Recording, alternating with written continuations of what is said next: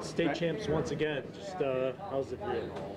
Um, this one feels more special than the last one. You know, this team we've been through so much. You know, 34 and four, and we lost to two top 10 teams in the nation. So, you know, it's been a long journey, and we could have, you know, we could have been satisfied with last year, but we came back in, in the fall and worked just as hard, even harder. So I, that was a, that's a big thanks to our coach and a big thanks to our program.